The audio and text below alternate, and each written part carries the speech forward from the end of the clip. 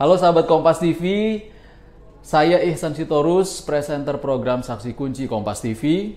Jangan lupa terus perbaharui informasi Anda dengan menyaksikan informasi terbaru yang independen dan terpercaya di YouTube channel Kompas TV. Dan jangan lupa klik subscribe, like, komen, dan share, serta aktifkan tanda lonceng untuk mendapatkan informasi terbaru dari YouTube channel Kompas TV. Terima kasih, sampai jumpa.